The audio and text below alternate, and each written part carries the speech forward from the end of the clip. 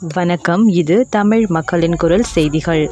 வண்டலூர் மற்றும் பல்லாவரம் மேம்பாலம் இன்று முதலமைச்சர் எடப்பாடி பழனிசாமி அவர்களால் திறந்து வைக்கப்பட்டது. சென்னை பல்லாவரம் ஜிஎஸ்டி சாலையில் ரூபாய் எண்பத்தி இரண்டு புள்ளி அறுபத்தி ஆறு கோடி மதிப்பீட்டில் கட்டப்பட்டுள்ள மேம்பாலத்தை முதலமைச்சர் எடப்பாடி பழனிசாமி திறந்து வைத்தார். பல்லாவரம் பேருந்து நிலையம் முன் தொடங்கும் புதிய பாலம் விமான நிலையம் அருகே ஜிஎஸ்டி சாலையில் நிறைவடையும்.